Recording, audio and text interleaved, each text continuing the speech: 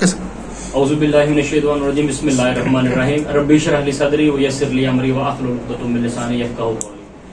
doctor Mohammad Salim Iqbal director emergency senior registrar surgery department allied hospital Faisalabad. आज हमारा small group discussion होगी interactive session होगा, जिसमें हम डिस्कस करेंगे how to manage patient in surgical emergency in a better way so we can improve patient management let's introduce our participant first Dr. Narshid, Senior Medical Officer and Director Emergency Night Shift. Staff Nurse Shahida Shabazz, Surgical Emergency. Sister Sajda had um, Sajda so surgical emergency.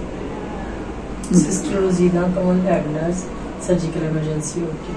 Dr. Adil Yasin, Senior Registrar of Surgery.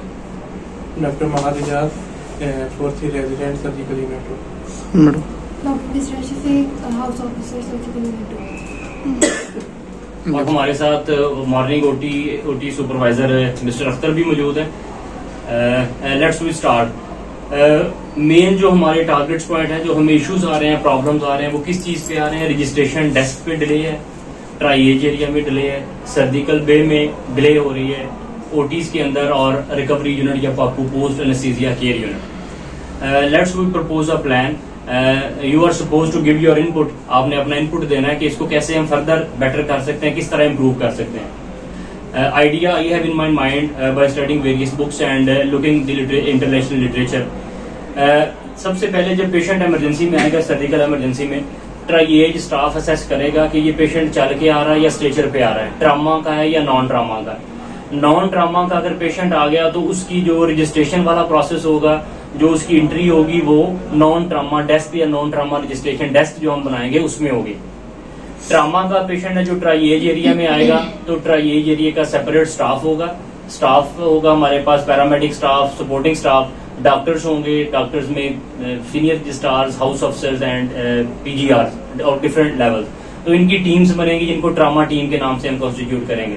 तो trauma के patient की जो registration होगी, वो registration desk जो है वो triage and recitation area के अंदर होगा। जैसे ही पेशेंट वो ट्रामा का inside the trauma zone आएगा या ट्रामा रीजन आएगा तो वो वाली टीम एक्टिवेट हो जाएगी और वो टीम वो टीम जो है उस पेशेंट को कैटर करेगी, उसको देखेगी और उसकी रजिस्ट्रेशन और अगला प्रोसेस जो है वो प्रोसीड करेगी।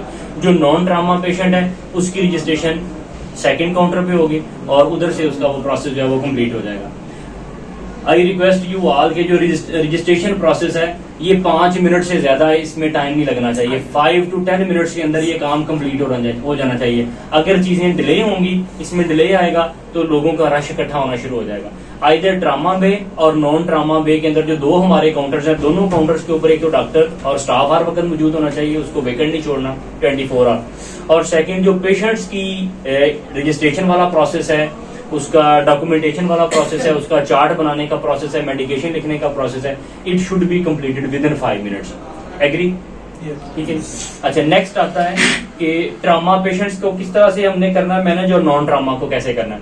अब ट्राइएज एरिया में हमारी ट्राइएज स्टाफ होगी जिसने पेशेंट को सार्ट आउट करना बट इस ट्राइएज उसको सार्ट आउट करना। कि इस पेशेंट को इमरजेंसी केयर की ज़रूरत है इमीडिएट केयर की ज़रूरत है या इसको डिले किया जा सकता है या इसमें वेट किया जा सकता है। Let's we first discuss about the trauma triage area के अंदर उसकी इमरजेंसी मेजर्स को करने के बाद कैटेगरी वन और टू वाले पेशेंट्स को स्टाफ ने क्या करना है? रिसोसिटेशन बे में शिफ्ट कर देना जो बैक में बेड लगे हुए हैं, छह बेड्स हैं, उनके साथ मोनिटर्स लगे हुए हैं, हर रिसोसिटेशन फैसिलिटी अवेलेबल है। जो कैटेगरी थ्री के पेशेंट्स हैं, जैसे उनके लेसरेशन आई हैं माइनर एब्रेजन हैं, उनको टाटावैक्स डिक्लोरान लगाया और साथ ही उनको एमटीडीएस में शिफ्ट कर दिया। फिर जो पेशेंट हमने शिफ्ट किए रिससिटेशन बे के अंदर, उनका वर्कअप विद एन आवर हमने कंप्लीट करवाना है। अगर वो न्यूरो का मैनेज करने वाला है न्यूरो बे में शिफ्ट हो जाएगा। आर्थो के मैनेज करने वाला patient after resuscitation within one hour ortho bay में शिफ्ट हो जाएगा। और अगर हमने जनरल सर्जरी के प्लेटफॉर्म पे उसको करना है पेशेंट को रिससिटेट किया रिससिटेशन करने के बाद हमने उसको सर्जरी या स्टेबलाइजेशन बे में शिफ्ट कर दिया। कुछ पेशेंट्स ऐसे हैं जिसमें टाइम टेकिंग है मतलब मल्टीपल या पोलिट्रामा का पेशेंट है। तो we can keep him or her for two hours even उसको रिससिटेट करें। लेकिन उसका जो एक्टिव मैनेजमेंट है it should be completed within two two three hours अगर उसकी लेप्रोटमी करनी पड़ रही है उसमें कोई इंटरवेंशन करनी पड़े तो उसको हमने इतने टाइम uh, ड्यूरेशन के अंदर उसको कंप्लीट कर लेना। अब जो पेशेंट रिससिटेट हो गया वाइटली स्टेबल हो गया उसको हमने आइधर शिफ्ट कर देंगे सर्जरी बे के अंदर या वो पेशेंट शिफ्ट हो जाएगा ओटी के अंदर। ये इसकी फेट है। ट्राइएज एरिया हमारा फिर से स्पेयर हो जाएगा नेक्स्ट पेशेंट के लिए। ये ट्राइएज एरिया का concept next comes the surgery bay या स्टेबलाइजेशन बे दो नाम उसको हमने दे दिए सर्जरी भी या स्टेबलाइजेशन भी हर नॉन ट्रामा का जो पेशेंट है, जिसको ट्रामा नहीं है, जो पेशेंट चल के आ रहा है या ऑब्स्ट्रक्शन के साथ आ रहा है इंटेस्टाइनल ऑब्स्ट्रक्शन है हर्निया है सिनर्जिस्टिक गैंग्रीन है ओपीडी बेसिस पे आया। I request you all please उसको ट्रामा रीजन के अंदर या ट्रामा जोन में इंटर नहीं होने देना। उसका, उसकी मैनेजमेंट हमने desk number two and surgery bay के अंदर कंप्लीट करनी है। ठीक हो गया? कोई रीनल कॉलिक्स है, कोई यूरिनरी ऑब्स्ट्रक्शन के पेशेंट्स हैं तो इन सबको हमने सर्जरी बे के अंदर या स्टेबलाइजेशन बे के अंदर मैनेज करना है और सर्जरी बे के ऊपर हमने फोकस करना है कि उसके अंदर पीरियोडिक शिफ्टिंग होती रहे पेशेंट रीनल कॉलिक का पेशेंट है, ठीक हो गया डिस्चार्ज डिब्राइडमेंट्स के पेशेंट्स आ रहे हैं, उनको स्टार्ट किया, उनको एंटीबायोटिक्स दी, जो प्रोटोकॉल है हॉस्पिटल का, उसको फॉलो किया then shift to MTDS major debridement है शिफ्ट टू ओटी तो हमने उसकी पीरियोडिक शिफ्टिंग करनी है, ताकि हमारी सर्जिकल या स्टेबलाइजेशन वे पेशेंट कैटर करने के लिए रेडी रहे। एमटीडीएस वाली जो टीम होगी, उसका सेपरेट रोस्टर बनेगा, वो एमटीडीएस वाले साथ साथ पेशेंट को मैनेज करते जाएँगे या डिस्चार्ज करते जाएँगे। अगर कोई पेशेंट इस तरह का जिसका मेजर कोई प्रोसीजर किया तो उधर से फिर वार्ड में शिफ्ट कर देंगे उसको। ऑब्स्ट्रक्शन के पेशेंट हर्निया के पेशेंट या जिनकी हमने इलेक्टिव सर्जरी करनी है, जो सर्जरी वे के अंदर पड़े हुए हैं। I request you all CBC analyser हमारे पास इमरजेंसी में मौजूद है। मोबाइल अल्ट्रासाउंड हमारे पास मौजूद है। इन्वेस्टिगेशन वाला बंदा मौजूद है, जो घंटे के अंदर आपको इन्वेस्टिगेशन अरेंज कर सकता है। ब्लड बैंक हमारे पास सर्जिकल इमरजेंसी में मौजूद है। I request you all please please prepare such patient within two hours then shift to theatre theatre में शिफ्ट हो जाए, उसकी सर्जरी हो जाए आउटकम भी अच्छा होगा, चीज़ें भी इम्प्रूव करेंगे। इस तरह हमारी सर्जरी बे या स्टेबलाइजेशन बे के अंदर जो फ्लो ठीक रहेगा, कुछ पेशेंट डिस्चार्ज होते रहेंगे। जिन पेशेंट का प्लान हमने बना लिया कि ये कंजर्वेटिव मैनेज करने ऑपरेट नहीं करने, उनको हमने वार्ड में मतलब वार्ड में शिफ्ट करवा देना है। कोई बर्न के पेशेंट है या इस तरह के पेशेंट है जिनको हमने स्टेबलाइज कर दिया जो ओल्ड बर्न है, उनको कोशिश करें बर्न यूनिट में शिफ्ट करवा दें। Depending on the condition of the patient हमने उनको इस तरह से मैनेज करना है। Next come the OT complex OT complex का जो प्रपोजल प्लान है, बहुत अच्छी रिकवरी यूनिट है हमारे पास, माशाल्लाह फुल्ली फंक्शनल है पोस्ट नसीजिया केयर यूनिट भी है स्टाफ उसको देख रही है पैरामेडिक स्टाफ देख रहे हैं रिकवरी स्टाफ उधर रोस्टर में मौजूद है। उसके जो इश्यूज़ हैं वो हम लेटर ऑन डिस्कस भी कर रहे हैं, उसमें इंप्रूवमेंट्स भी लेके आ रहे हैं, इंशाल्लाह इम्प्रूव भी करेगा। ओटी कॉम्प्लेक्स का बेटे जो कंसेप्ट है, उसके अंदर एक चीज़ ध्यान में रखनी है, जो पेशेंट ऑपरेशन थिएटर में चला गया एक दफ़ा ऑपरेशन के बाद उसने रिकवरी रूम में रहना है, या पोस्ट नसीजिया केयर यूनिट जिसको पाकू कहते हैं। अब पोस्ट एनेस्थीसिया केयर यूनिट से पेशेंट की शिफ्टिंग की टू फेट्स हैं। वो क्या फेट्स हैं? या वो अगर पेशेंट खुदा ना खास्ता क्रिटिकल है एनेस्थीसिया से प्रॉपर आउट नहीं हो रहा, वो आईसीयू में जाएगा आईसीयू केयर के लिए। और जब पेशेंट एनेस्थीसिया से आउट हो जाएगा, अगर स्पाइनल है जीए है कैटामीन वट एवर एनेस्थीसिया आप समझते हैं कि ये वो उस विंडो पीरियड से निकल गया जिसमें कोई एनेस्थीसिया कॉम्प्लिकेशन हो सकती है या मेजर सर्जरी की हो सकती है। एक डिज़ाइन प्रोफार्मा होगा, जिसके ऊपर साइन करेंगे एनेस्थेटिक सर्जन और जो रिकवरी स्टाफ है। फिर उस पेशेंट को मुतलका यूनिट या मुतलका वार्ड के अंदर, जैसे सर्जिकल टू तो सर्जिकल टू में शिफ्ट करवाया जाएगा, ना कि उसको वापस इमरजेंसी में। हमें क्या इशू होता है कि उस पेशेंट को पाकू से या रिकवरी यूनिट से वापस जब शिफ्ट करवाया जाता है इमरजेंसी में तो हमारे बेड्स ऑक्यूपाई हो जाते हैं। जब बेड ऑक्यूपाई होते हैं, फिर शिफ्टिंग करवाने में वन टू टू आवर का डिले होता है तो एक ऐसा जैम पैक सा सिस्टम बन जाता है कि जैसे हमारी इमरजेंसी चोक हो गई है। तो इससे बचने के लिए ये प्रपोजल है ट्रामा एरिया को ट्रामा के लिए यूटिलाइज करें नॉन ट्रामा में स्पेयर कर दें। फिर ट्रामा एरिया के अंदर पेशेंट का फ्लो किस तरह से हो? माइनर इंजरीज है।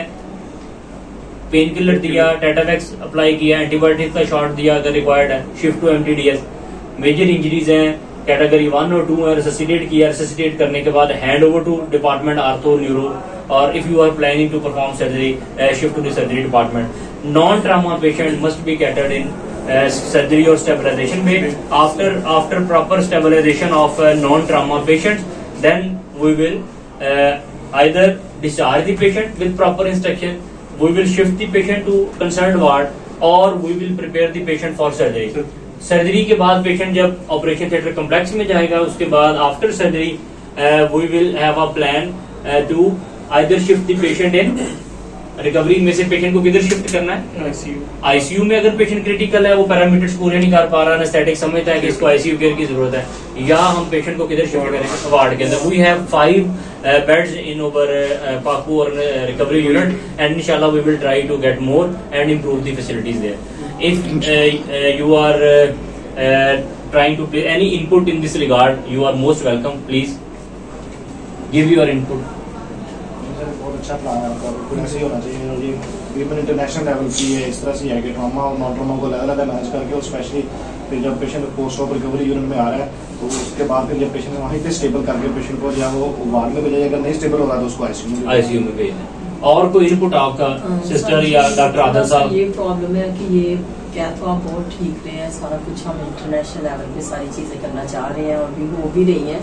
लेकिन हमारे पास आपको ये बताइए कि हमारे पास स्टाफ बहुत शॉर्टेज है उसका उसका मैडम से- से आज फिर हम मीटिंग करेंगे। Staff shortage we will tackle we are first discussing about the organisation scheme अगर आप ऑर्गेनाइजेशन स्कीम के अंदर कोई इनपुट देना चाहते हैं कि इसको इस तरह से नहीं ऐसे ऑर्गेनाइज कर लेना ज़्यादा बेहतर है। पेशेंट की बेहतरी के लिए या हम वो जो रश है उसको कम करने के लिए उस बारे में काइंडली ये ठीक है। तो फिर थोड़ा सा ये भी करें कि थिएटर के अंदर अगर रश को काम करना है तो हम थिएटर जो इमरजेंसी थिएटर है उसके अंदर हम इमरजेंसी को ही डील करें। इमरजेंसी को ठीक ही। ऑब्स्ट्रक्टिव पेशेंट आया उसकी रिलीफ करवाना हमारा काम है। लेकिन अपेंडेंस आई है तो अब उसको लेप्रोस्कोप के ज़रिए हम करें तो हम थिएटर भी गेज करेंगे डॉक्टर्स भी करेंगे छह छह सात सात घंटे लगते हैं और हर चीज़ को हम वहाँ पे जो बुक कर देंगे। पॉइंट पॉइंट टेकन हाँ जी। साहब हाँ जी सर मैंने अपने जो है ना पी पीजीआर्स को एच को पाबंद किया इस बात का कि आपने फ़ौरन ट्राई एज एरिया के अंदर असेसमेंट करके उसको शिफ्टिंग करनी है। हमें जो ज़्यादा प्रॉब्लम आ रहा ना इस बारे में वो है जो वार्ड के अंदर हमने पेशेंट शिफ्ट करते होते हैं या न्यूरोसर्जरी यूनिट में। अभी भी एक पेशेंट ट्रामा में पड़ा हुआ है रात का मैंने आगे सुबह राउंड किया न्यूरोसर्जरी एलिमेंट है लेकिन उन्होंने उसके ऊपर मेंशन कर दिया कि नो करवाएँ और वो एम्बो बैग के ऊपर है सर इस तरह के इश्यूज़ जो बैक वाली इमरजेंसी जिन्होंने की हुई है वो अपने वार्ड में दोनों में ट्राई। नहीं सर सर जब न्यूरो वाले डॉक्टर्स जब कह देंगे कि हमारा नहीं है तो फिर क्या करना है? फिर इसको वो उस यूनिट में शिफ्ट करेंगे ना वो डॉक्टर ऑन करेंगे जी आपका सर्जरी वाले देखेंगे। हाँ जो लास्ट यूनिट वाले हैं ना उनको आप इन्वॉल्व करेंगे जी फिर आप अपने वार्ड में शिफ्ट करें फिर उसमें शिफ्ट करवाएँ अभी करवाएँ सिस्टर जी उसको। या बाज ऐसे होता है कि वो न्यूरोसर्जरी वाले ने मेंशन तो कर दिया लेकिन सर्जरी का एलिमेंट भी नहीं है पेशेंट हाँ के अंदर। है वो न्यूरो सर्जरी का ही। तो वो फिर उसको कैसे मैनेज करेंगे? वो न्यूरोसर्जरी वाले के साथ डिस्कस करना पड़ेगा वो हाँ जी वो आज आज इस, पेशेंट के हम डिस्कस करते हैं फिर हाँ इसका जी। आपको वे आउट कर लेते हैं कि इसको किस तरह से किस तरह से मैनेज किया। ठीक हो गया सही। जी। जी सर सर ने बिल्कुल मतलब बताया कि जिस तरह पेशेंट है मतलब उनकी इंटरवेंशन नहीं करनी है एक ऐसी पेशेंट पड़ा हुआ है उसके वो है ब्लीड है लेकिन वो जीसीएस का काम है वो कहते हैं कि हमने करना नहीं। नहीं वो बेहतर ये है कि ये ये डिस्कस हो गया हम न्यूरो को ऑन बोर्ड लेके उनकी बेस हैं दो बेस हैं उसमें शिफ्ट करवाएँ वो आके उसका जो भी करे ये न्यूरो का केस बाकी। ऑर्गेनाइज इस तरह से करना सर आपने बड़ा अच्छा एक्सप्लेन किया कि मेन मेन मसला उधर ही होता है कि अगर जो इमरजेंसी पेशेंट है जो हमारे इमीडिएट और अर्जेंट जो ट्राइयाज के अंदर है अगर उनको हम इमीडिएटली हम उनको नहीं करते तो पेशेंट भी सफ़र करता है अटेंडेंट भी फंसी होता है। तो मेन चीज़ ये है कि उसको अगर हम टैकल कर लें तो स्मूथ हमारी इसमें जी बेटा आपको इनपुट दे रहे हैं। सो ये बहुत अच्छी है कि इस तरह ऑपरेशन को हम लोग शिफ्ट करवाते रहे साथ साथ साथ साथ होता रहे तो फिर हमारा वो इमरजेंसी में जो चौकिंग हो जाती है सिस्टर जी आपको इनपुट देना चाहें या फर्दर इसमें कोई ऐड करना चाहें सर जी ये है कि ये बहुत अच्छा आपका कदम है कि आप ओटी से ही सीधा पेशेंट ऊपर जो जा रहे हैं। इससे हमारी वार्ड का जो बर्डन है वो कम हो रहा है। इंशाल्लाह। हाँ तो मुझे ना आप लोगों से कॉपरेशन चाहिए। डेली बेसिस पे हमने इसमें मीटिंग करेंगे डेली में। क्योंकि इसको टाइम लगेगा ना। जो रूटीन हम फॉलो नहीं कर रहे, उसको इम्प्लीमेंट करना या उसको ऑर्गेनाइज करना मुश्किल होता है। स्टार्ट में जैसे स्टाफ ने स्टाफ शॉर्ट है। आई नो फिर डॉक्टर्स कहेंगे, हमारा भी अमला शॉर्ट है। पैरामेडिक्स ओटीएस कहेंगे, वो भी शॉर्ट है। जेनेटोरियल स्टाफ कहेगा, हम भी शॉर्ट है। There is a shortage at every place लेकिन हमने उसको ऐसे मैनेज करना है। देखेंगे जिस जगह चीज़ें ओवर यूटिलाइज हो रही हैं।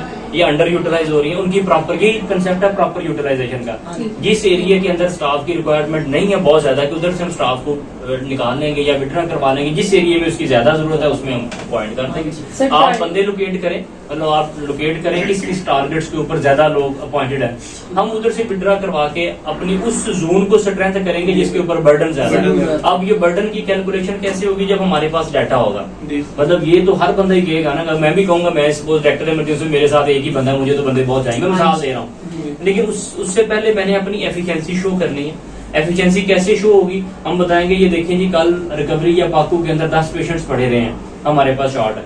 अगर हम ऑन पेपर चीज़ों को लाएँगे प्रेजेंट करेंगे हमारे लिए बड़ा आसान होगा चीज़ों को मैनेज करना। फिर हम जब ऑन बोर्ड कम्युनिकेट करें किसी को हाँ बिल्कुल ये वाला एरिया ओवर बर्डन है। हमें दो स्टाफें इधर और देनी चाहिए तीन स्टाफें देनी चाहिए हमें ये वर्कर उधर करना चाहिए। तो ये ये। ये रीऑर्गेनाइजेशन इंशाल्लाह होगी आने वाले दिनों में। हम आई एश्योर यू कि हम इसको मैनेज करेंगे।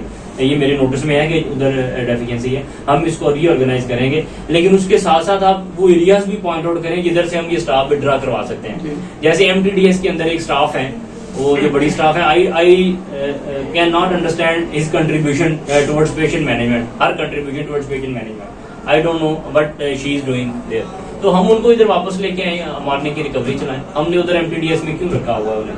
तो बाकी ये चीज़ें मैडम से डिस्कस करेंगे सारी चीज़ें तो ये इनशाला चीज़ें बेहतर हो जाएँगी। ये है कि डेली के पेशेंट डेली